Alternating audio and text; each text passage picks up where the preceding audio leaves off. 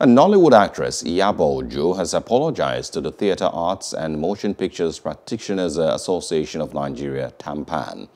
Her outburst on social media, uh, of course, uh, is what has led to her apology now. The association had suspended her and another actor, Kehinde Adams, uh, for fighting dirty on social media uh, uh, over the arrest of their embattled colleague, popularly known as Baba Ijesha.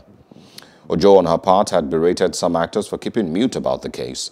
The two actors had been vocal and clashed with some members of the association who kicked against them for condemning Baba Ijesha on social media. Tampan's action has since elicited uh, a wave of reactions from entertainers and the general public after it promised to work against these uh, colleagues. Hello. Hope you enjoyed the news. Please do subscribe to our YouTube channel and don't forget to hit the notification button so you get notified about fresh news updates.